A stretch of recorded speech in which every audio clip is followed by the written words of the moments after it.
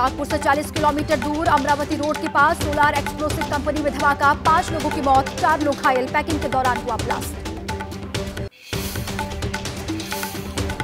छत्तीसगढ़ के सुकमा में सीआरपीएफ और नक्सलियों के बीच मुठभेड़, एक सीआरपीएफ का जवान शहीद, एक जख्मी। सर्च ऑपरेशन के दौरान पकड़े गए चार संदिग्ध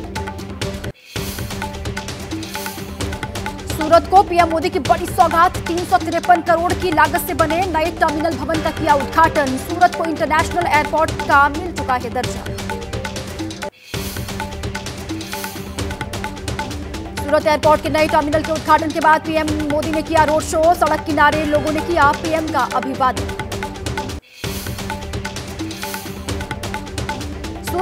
सूरत के नए टर्मिनल का उद्घाटन करने के बाद PM Modi, Surat diamond boards का भी उन्होंने उद्घाटन किया। गुजरात के मुख्यमंत्री भी वहाँ पर मौजूद रहे। सूरत के बाद वाराणसी जाएँगे पीएम मोदी। कन्याकुमारी, वाराणसी तमिल संगमम ट्रेन को दिखाएँगे हरी झंडी। उन्नीस करोड़ के विकास परियोजनाओं का उद्घाटन और शिलान्यास भी करेंगे। पुलिस ने बरामद किए संसद घुसपैठ केस के आरोपियों के फ़ोन। दिल्ली पुलिस को राजस्थान से जले हुए फ़ोन के टुकड़े मिले हैं। संसद कांड के बाद ललित ने जलाए थे सभी फ़ोन। संसद सुरक्षा कांड पर पहली बार बोले पीएम मोदी। वाद विवाद की जगह पूरे मामले की गहराई में जाना बहुत ज़रूरी। सुरक्षा में हुई चूक पर स्पीकर पूरी तरीके से गंभीर। संसद कांड पर पीएम के बयान के बाद कांग्रेस ने दी पहली प्रतिक्रिया। प्रमोद तिवारी ने सुरक्षा में चूक को बताया। सरकार की विफलता, ज्वाइंट पार्लियामेंट्री कमेटी के गठन की मांग। संसद सुरक्षा चूक मामले में सात दिन की पुलिस रिमांड पर ललित झा और महेश कुमावत। पुलिस के मुताबिक दोनों हैं मुख्य आरोपी। दो साल से चल रही थी संसद की सुरक्षा में से निमारे की साजिश। दिल्ली पुलिस के सूत्रों के मुताबिक सीन रिक्रिएट नहीं कराएगी स्पेशल सेल कैमरों में रिकॉर्ड है पूरा घटनाक्रम पूरे मामले में सांसद प्रताप सिन्हा का भी दर्ज हो सकता है बयान। लोकसभा अध्यक्ष ओम बिरला की सभी सांसदों को चिट्ठी। संसद में हुई घटना पर राजनीति न करने की अपील। कहा, सांसदों के निलंबन को 13 दिसंबर की घटना से जोड़ना ठीक नहीं।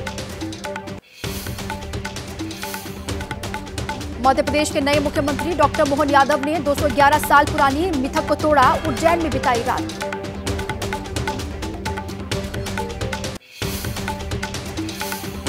मध्य प्रदेश कांग्रेस ने विधानसभा चुनाव में हार के बाद संगठन में किया फेरबदल। कमलनाथ की जगह जीतू पटवारी बने एमपी कांग्रेस अध्यक्ष। उमंग सिंघार होंगे नेता प्रतिपक्ष।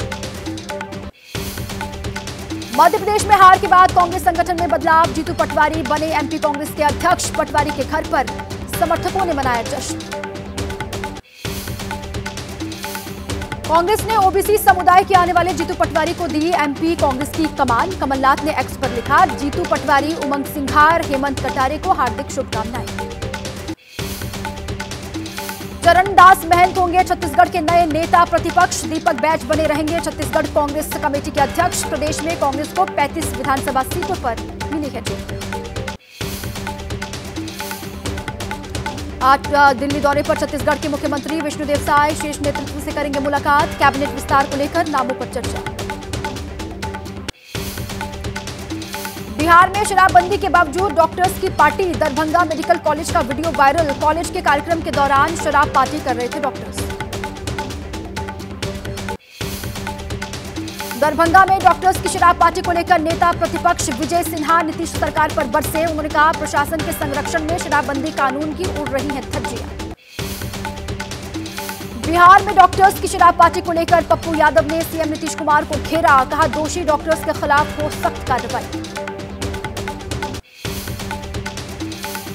लखनऊ में आयोजित पीएससी स्थापना दिवस समारोह में मुख्य अतिथि के रूप में सीएम योगी ने की शिरकत। डीजीपी और एडीजी पीएससी भी हुए शामिल। राम जन्मभूमि ट्रस्ट के सचिव चंपत राय ने पीएम मोदी को बताया, विष्णु का अवतार कहा, प्राण प्रतिष्ठा कार्यक्रम में यजमान नहीं, श्रद्धालु के रूप में शिरकत करेंगे पीएम मोदी।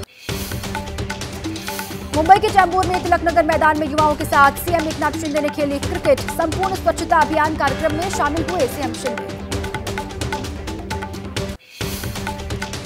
22 जनवरी को होने जा रहे रामलीला के प्राण प्रतिष्ठा कार्यक्रम की तैयारियाँ तेज। बॉलीवुड के कई बड़े कलाकारों को भेजा गया है न्योता। मंदिर के मुख्य पुजारी आचार्य सत्येंद्र दास ने दी जानकारी। अयोध्या में ज़ोर शोर से चल रही रामलीला की प्राण प्रतिष्ठा समारोह की तैयारियाँ। श्रद्धालुओं के रुकने के लिए बनाई जा रही है टेंट सिटी। देश विदेश से आने वाले राम भक्तों के लिए बन रही है टेंट सिटी। हाथरस से अयोध्या इत्र लेकर पहुँचे सैकड़ों राम भक्त। रामलला को समर्पित किया हाथरस के मशहूर इत्र को। अयोध्या की सड़कों पर रंगोली बनाकर इत्र का छिड़काव किया गया। इत्र की खुशबू से महक उठी सड़कें प्रेमी के जानलेवा हमले में घायल प्रिया सिंह ने पुलिस पर लगाया बयान। बदलने का आरोप। कहा आरोपी रसूखदार परिवार से है और इसलिए जाँच में देरी की जा रही है। जम्मू कश्मीर के अखनूर में एनओसी के पास मिले हथियार। सड़क निर्माण के दौरान खुदाई में मिला गोला बारूद और हथियार। आठ मोटार शेल, एक सौ पचानवे एलएमजी और तेरह रॉकेट बरामद किए गए। गोला बारूद देख लोगों ने दी सेना और पुलिस को जानकारी। पुलिस और सेना ने मौके पर पहुंचकर गोला बारूद को कब्जे में लिया। काफ़ी पुराना, बताया जा रहा है गोला बारूद। नोएडा पुलिस ने महादेव ऐप के ज़रिए ठगी करने वाले आरोपी को किया है गिरफ़्तार। गैंगस्टर एक्ट में फरार आरोपी हिमांशु पर 400 करोड़ की ठगी करने का आरोप। यूपी के संभल में गन्ने की तौल को लेकर किसानों और शुगर मिल के सुरक्षा गार्डों के बीच हुई मारपीट। पाँच गन्ना किसान घायल, अस्पताल में भर्ती। छह दिन से लाइन में लगे थे किसान। बिहार के गोपालगंज में पाँच दिन से लापता पुजारी की मिली लाश। गुस्साई लोगों ने की गाड़ियों में तोड़फोड़ और हंगामा। पुजारी को बेरहमी से उतारा गया मौत के घाट। हरिद्वार की रुड़की में चोर उखाड़ ले गए एटीएम। सीसीटीवी के ज़रिए बदमाशों की तलाश कर रही है पुलिस।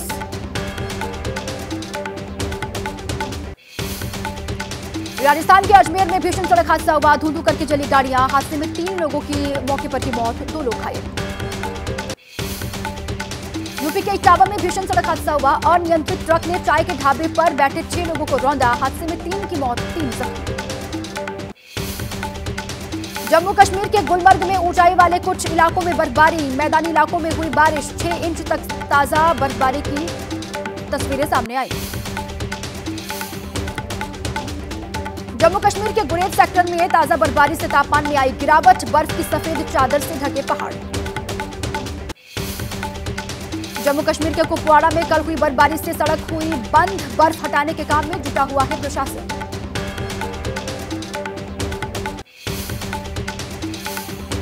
जम्मू के कटरा में माँ वैष्णो देवी मंदिर पर बर्फबारी का खूबसूरत नज़ारा दिखाई दिया। माँ के दरबार, त्रिकूट पर्वत पर भी स्नोफॉल हुआ। जम्मू कश्मीर में राजौरी में होने लगी है बर्फबारी। पुंछ को कश्मीर से जोड़ने वाली मुगल रोड पर बर्फबारी की तस्वीरें, बर्फबारी की वजह से मुगल रोड पर यातायात प्रभावित हुआ। कोविड के नए वेरिएंट की भारत में दस्तक। केरल में सामने आया कोविड 19 का सब वेरिएंट सब variant J N point one का पहला मामला। बुज़ुर्ग महिला में मिला है संक्रमण। दुनिया भर के कई देशों में पैर पसार रहा है कोरोना का सब वेरिएंट। सिंगापुर में लोगों को दी गई है मास्क लगाने की सलाह। सिंगापुर में हफ़्ते भर के भीतर कोरोना संक्रमण के मामले 75 परसेंट बढ़े। तमिलनाडु के थूथुकुड़ी में बारिश से गिरा तापमान। मौसम विभाग ने मन्नार की खाड़ी पर तूफ़ान का अलर्ट जारी। केरल के तिरुवनंतपुरम में झमाझम बरसात से मौसम हुआ सुहावना। तापमान में आई गिरावट, बरसात से ट्रैफ़िक की रफ्तार पर असर।